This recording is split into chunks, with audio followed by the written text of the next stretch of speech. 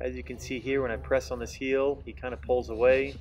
We're going to go ahead and knife out underneath this heel uh, to see if there's an abscess.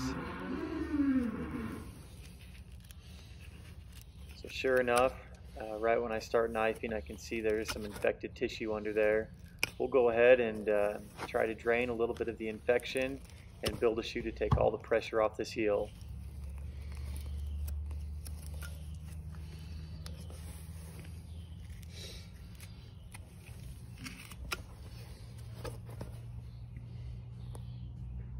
Is squishy, okay?